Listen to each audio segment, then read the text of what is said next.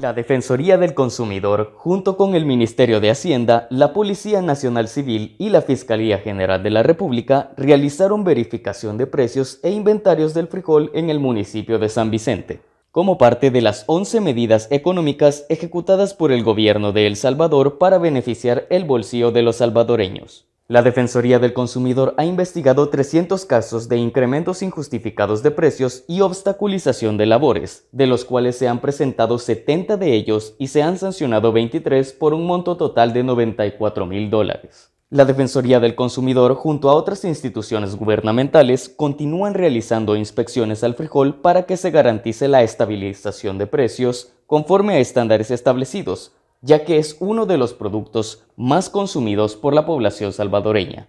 Informó para Diario El Salvador Kevin Marroquín.